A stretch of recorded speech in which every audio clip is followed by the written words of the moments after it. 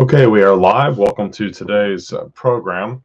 Um, sorry, I have to kind of get these things started like right as I'm going to go live because my computer will kind of act weird if I uh, let it sit there and wait. Uh, so sorry that you have to kind of join it like as soon as it starts. But uh, as I said, my name is Patrick Hines. I'm the pastor here at uh, Bridwell Heights Presbyterian Church. I have a new desk lamp. Sorry, that's in the way there.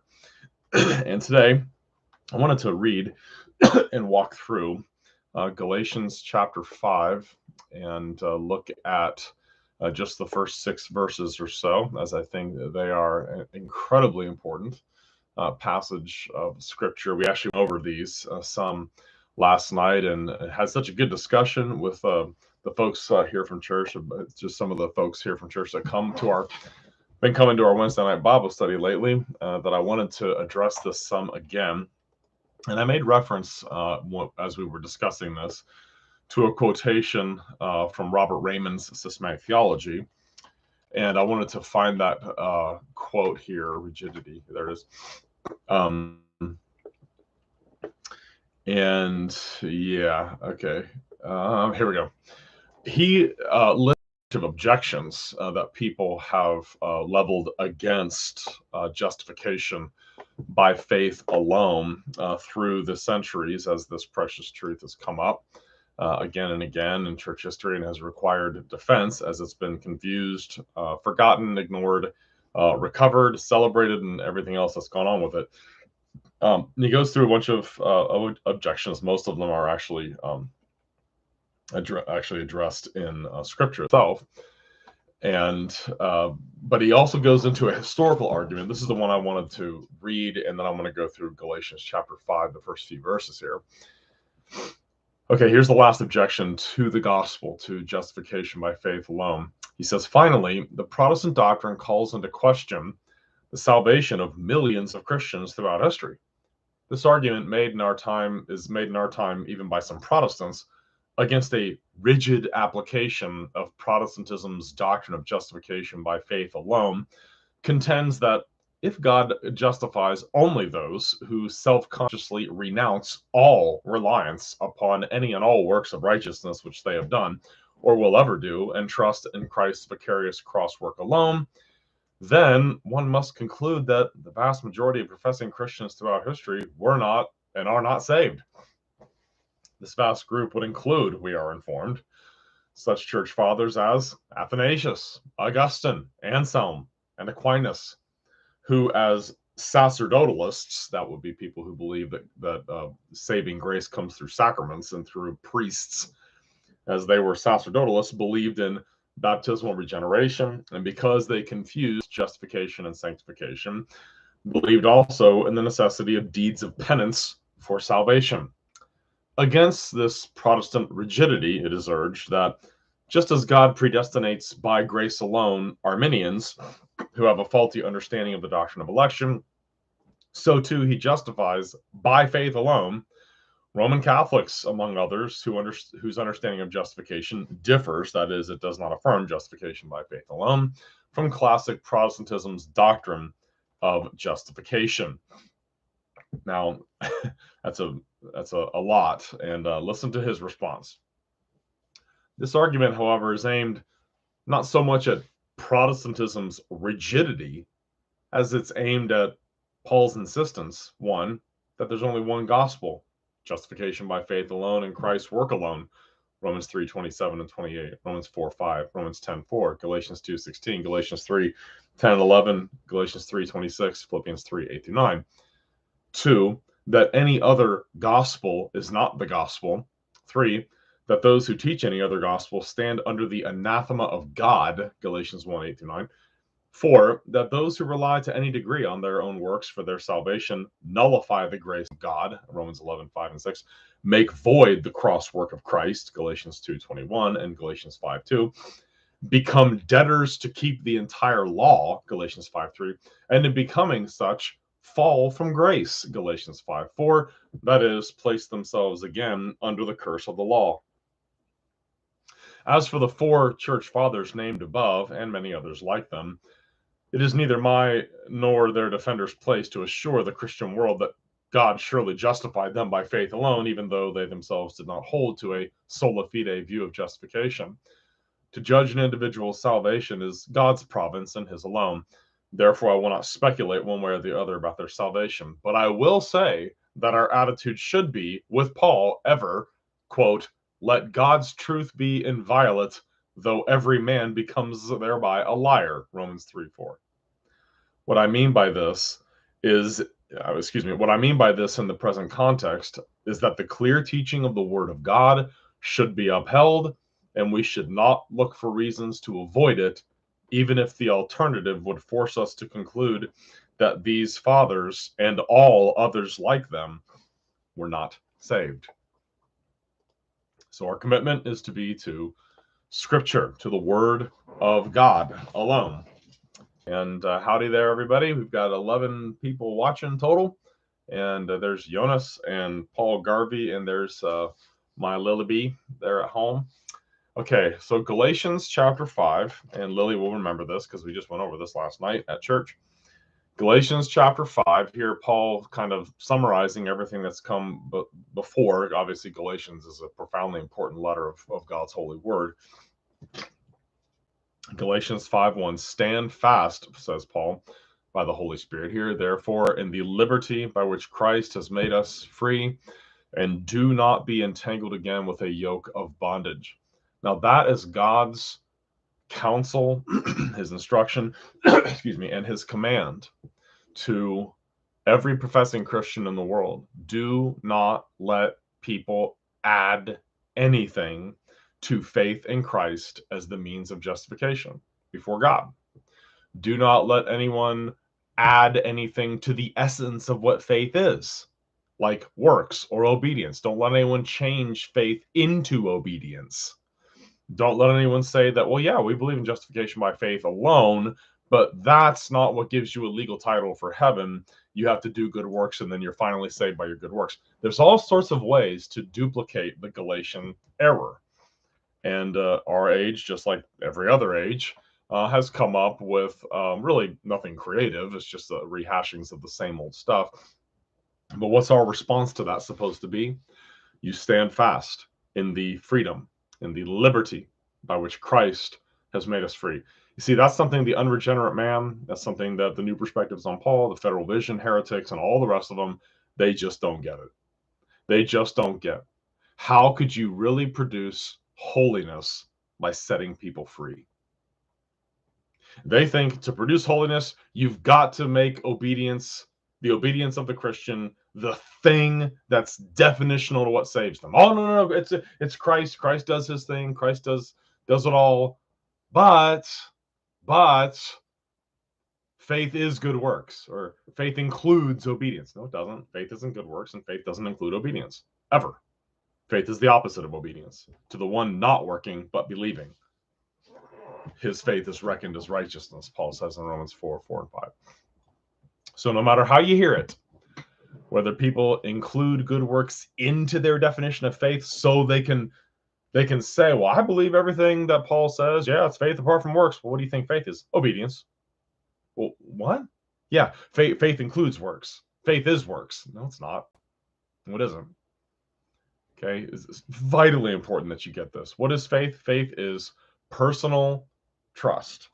It's, it's personal trust in jesus christ. That's what saving faith is it is accompanied by, and it is the byproduct of a changed heart, a changed heart.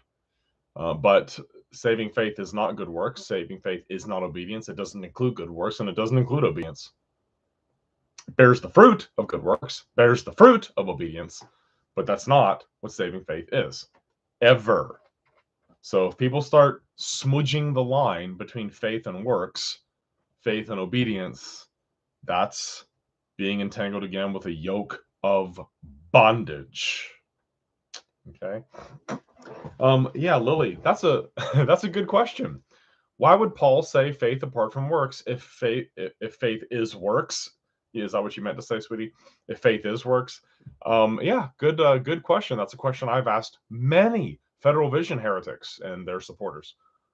If faith is works, why does Paul say constantly we're justified by faith without works, apart from works, not by works, not by law, not by works of law? Doesn't make any sense. Well, it's because those that um, are the enemies of the gospel, who who are inside the church and get in pulpits every Sunday, uh, they don't care about um, being faithful to the word of God. They just want to bring people into bondage. Okay, stand fast, therefore, in the liberty and the freedom by which Christ has made us free, and do not be entangled again with the yoke of bondage. I know nothing that I ever do or have done or will do can save me or can contribute to getting me into heaven. I know that. And yet I have a very strong desire to live a godly life and to be holy. I know the unregenerate man just cannot understand that.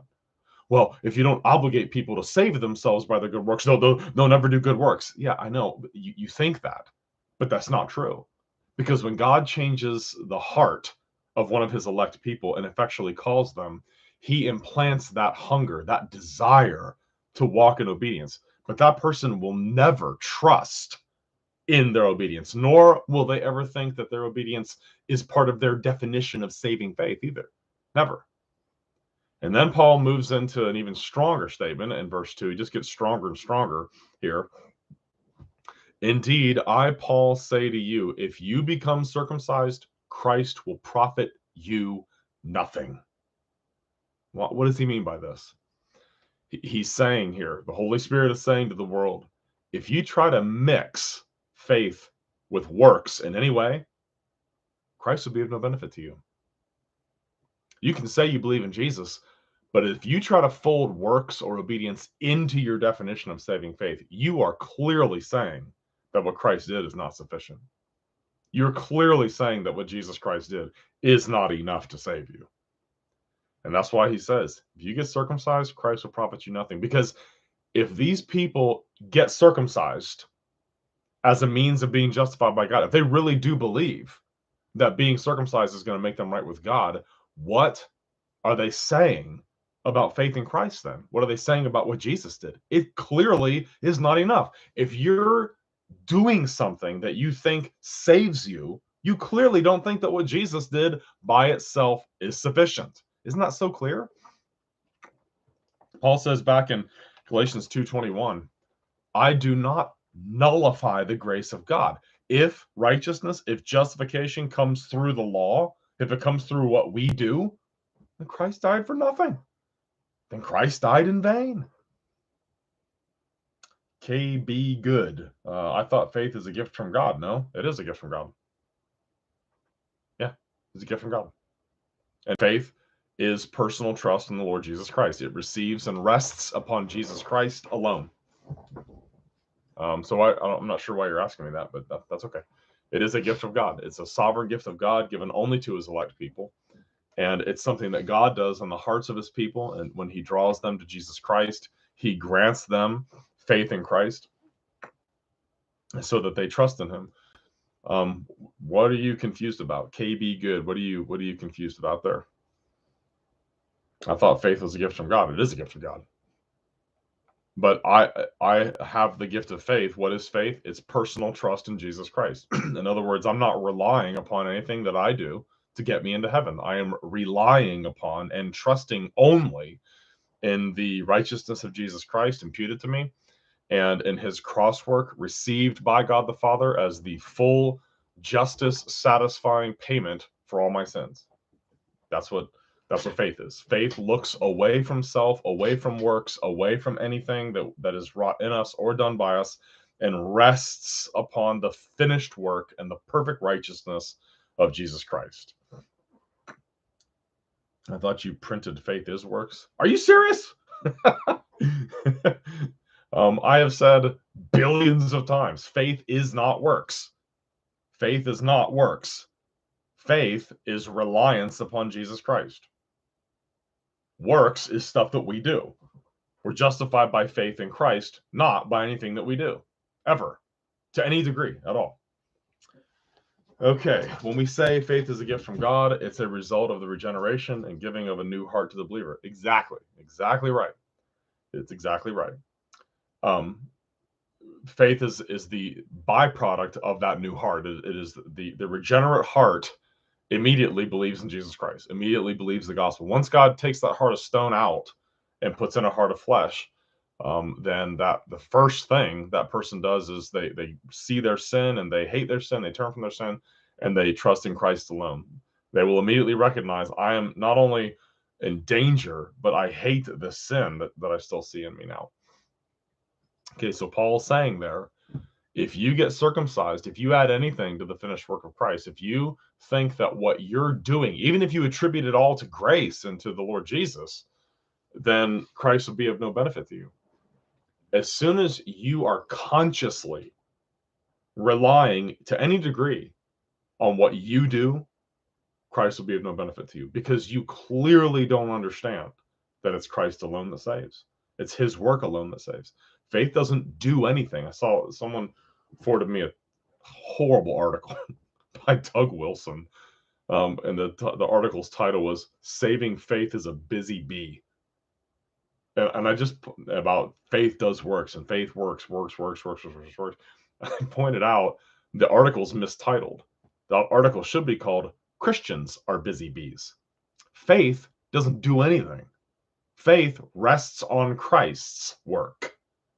Christians do all kinds of things. Christians bear those fruits of the Spirit love, joy, peace, patience, kindness, gentleness, goodness, faithfulness, self control. Yes, th- those are the fruits of God's work in a person's life. They are not what save us. They can't be what save us.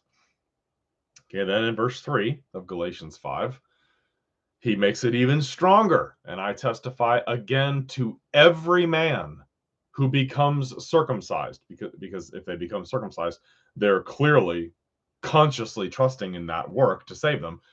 If you become circumcised, you are a debtor to keep the whole law. And what's he saying there?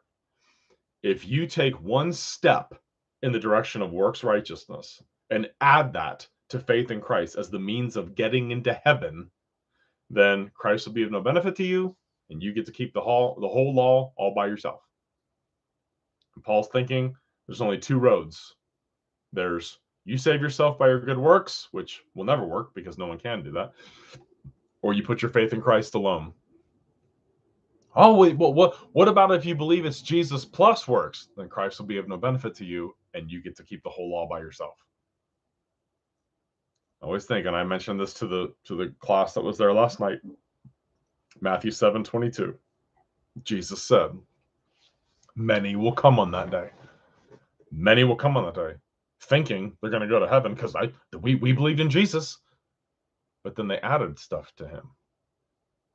And if you add stuff to Jesus, what does Paul say here? Christ will profit you nothing. Jesus will profit you nothing. He won't save you then. To come to God means you come on his terms. What are his terms? You self consciously, consciously renounce your trust in anything that you do. And you trust only in the finished work of Christ. That's not me being a rock ribbed Protestant. That's not me being rigid. That's what the Holy Spirit says and whether more or less people like that or rejoice in it doesn't matter. I think that there are many, many, many professing Christians today who really don't understand just how narrow the true gospel really is. They don't understand how narrow that gate really is. You can't bring anything through the gate with you. It's Christ alone, nothing else the Holy Spirit echoes across the ages. I, Paul, say to you, if you become circumcised, Christ will profit you nothing. And I testify again to every man who becomes circumcised that he is a debtor to keep the whole law. So if you want to go to heaven, you want to not end up in hell, you can't rely upon anything that you're doing. And you can't include works or obedience into your definition of saving faith. Can't. You can't. And if you try to do that, there's the text Christ will profit you nothing. If you think faith is obedience to God, Christ will profit you nothing. And you're a debtor to keep the whole law. Verse 4 You have become estranged from Christ, you who attempt to be justified by law, you who attempt to get into heaven by your fruit, by your good works. You have fallen from grace. It's, it's very clear, very simple, very, very powerful. stuff there.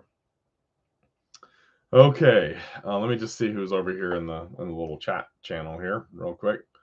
How's it going? Maybe never get the sick of sound doctrine. Thank you. Yes, um, I love to hear sound doctrine. Sound doctrine is is everything, and um, been reading some good stuff lately. Um, been reading some good theology, and uh, been reading uh, Louis Berkhof again. I've been reading Robert Reymond some. I've been reading um, uh, Wilhelmus à Brakel's, A Christian's uh, Reasonable Service. It's such a great book. I mean, it's good, solid, sound theology.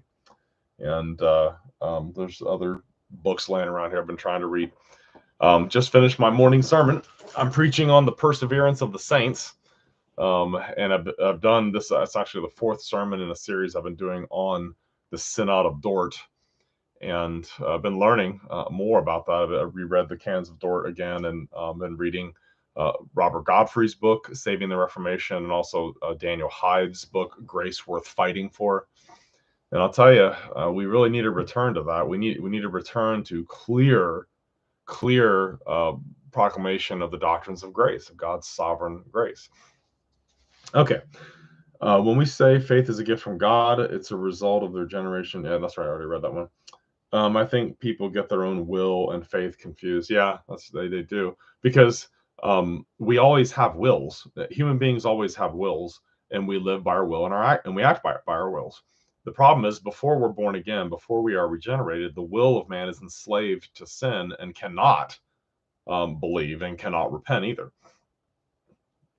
What's the relationship between the gate being narrow and hard to get in, yet forsaking all your good works and trusting in Christ is the most freeing and light burden one can ever be involved in?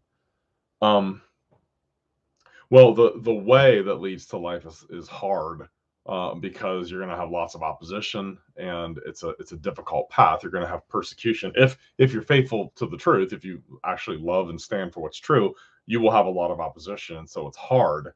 Um, but the, the grace of God is free. It's free grace. It's a free gift, and it's ours for uh, the receiving. We simply receive and rest on Christ alone um, and that's going to be accompanied by uh, repentance uh, unto life, uh, which means that God changes that heart and, and causes us to despise our sins and causes us uh, to begin the steps of, of new obedience.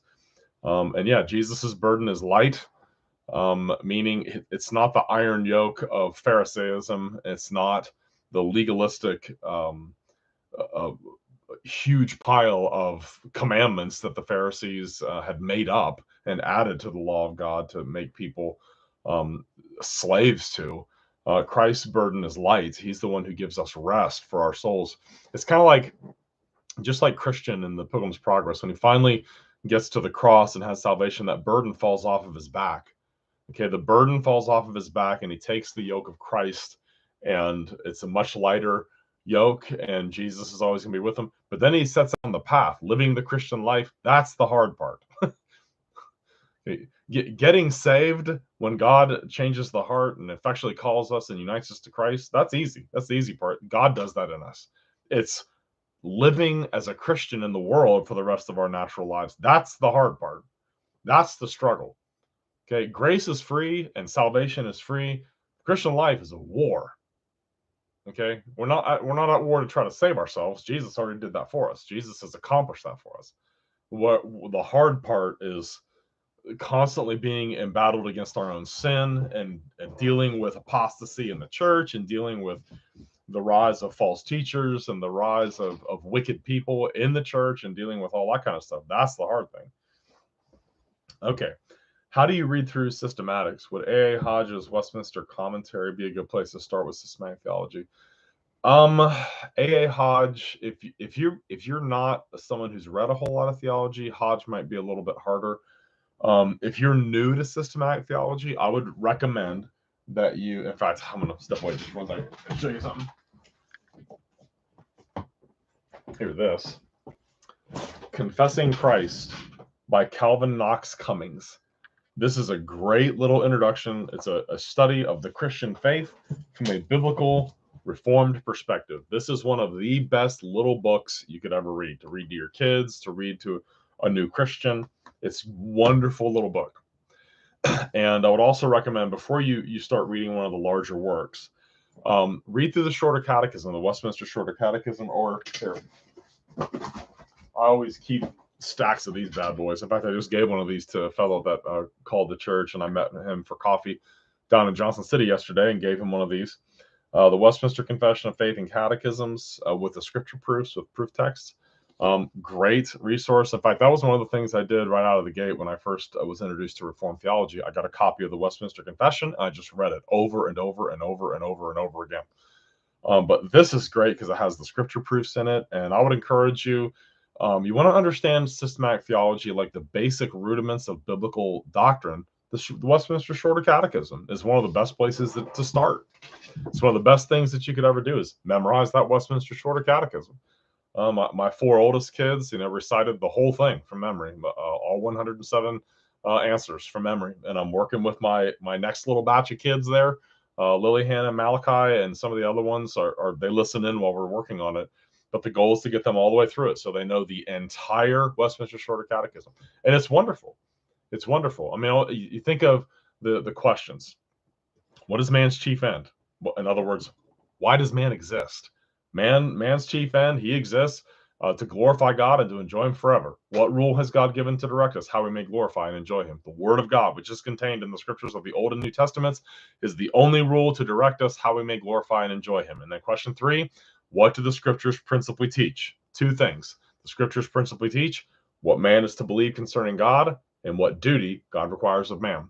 And then question four through, I believe it's 38 is what man's supposed to believe about God, and that's the doctrine of God and the incarnation, the fall of man, the covenant of works, covenant of grace, justification, sanctification, all that good stuff. And then you get into the duty God requires of man, which is obedience to God's commandments. You get an exposition of the law, the Ten Commandments, an exposition of the Lord's Prayer. How are we to pray? And so you want to understand systematic theology?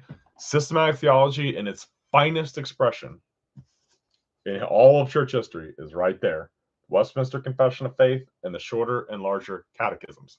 I've used uh, my my copy of this is uh, is all falling apart. These are actually really nice when they're brand new. Mine's old and falling apart, and I keep it uh, with me in my gym bag, and I keep it uh, around my. It's over. Actually, it's, it's, at home on my piano right now. But I've used it for devotions. I use it for family worship. Um, it's wonderful stuff. Uh, the sy- systematic theology of the confession. Then I would encourage you, after you've gone through it a bunch of times, then read A.A. Hodge. Um, his commentary on the um, on the Westminster Confession is great. G.I. Williamson is another one. A, a, study of the of the Westminster Confession is fantastic. Um, and let's see, as far as systematic theology, um, a Manual of Christian Doctrine by Louis Berkhof is a great, great, great book his systematic that's like the abridged version of Berkhof's systematic theology. Berkhof's systematic theology is uh, is a very large work, but it's one of the best ever. I mean, is there a better reformed systematic theology than Berkhof? I mean, seriously, he is wonderful. I love Louis Berkhof. Um, he's one of my favorite people to read. In fact, I have a book by him on assurance, uh, and it's fantastic. Berkhof was an excellent writer. Yes, David Dickson's um, it's it's called um, Truth's Victory Over Error. Aaron is what it's called on there. Um, yeah, I, I was actually going to recommend that one too. David Dickson, Truth's Victory Over Error. Uh, what that what that one shows you is um, all the different uh, errors that are addressed in the Westminster Confession, all the different heresies that they address and uh, reject. They don't spell out all the history of that, but Dickson kind of helps you see uh, what they're addressing. I'll put that title Truth's Victory Over Error on the Westminster Confession of Faith. So David Dickson is good. So Hodge, A.A. Hodges, um, commentary on the confession, commentary on the on the Westminster Confession of Faith. Uh, I would also recommend um, uh, what was the other one? Oh yeah, Louis Berkhof's um, Manual of Christian Doctrine. That's like the abridged version of his systematic theology, and uh, and also, as always, Robert L. Reymond, his a new systematic theology of the Christian faith, which uh, the second edition is out now. Uh, and I have a, actually have a bunch of those in there. If I know someone will read it, I'll, I'll just give it to them because it's just so excellent. Okay, so there you have uh, just those first few verses of Galatians 5. I've actually got a couple of errands I need to run. I got to take a couple of my kiddos uh, to track, and then I got some more um, sermon preparation work I need to do. Uh, but anyway, uh, so I'm just going to wrap it up there, unless someone has got uh, some more questions. Let's see. I've been reading through the confessions daily along with truth over error. Yeah, that's good. That's a good combination. David Dickson's book, Truth's Victory Over Error, is fantastic. And uh, the, read the Westminster Standards. Read Calvin Knox Cummings' little book. Um, I'll put that on here. Calvin Knox Cummings. You gotta love that guy's name, Calvin Knox Cummings. um, it's called Confessing. Let's see, Confessing Christ is a great little book. I believe Great Commission Publications prints those. Yeah, and I have a stack of those over there too because that's a great, great, great book, great resource. Okie dokie. Uh, good, good program today. Appreciate y'all. Um, uh, all right. So hope y'all have a good uh, rest of your week. Have a good Lord's Day, and uh, we'll see you hopefully sometime earlier next week. I'm going to try to start doing a few more programs. But thank y'all for watching or for listening.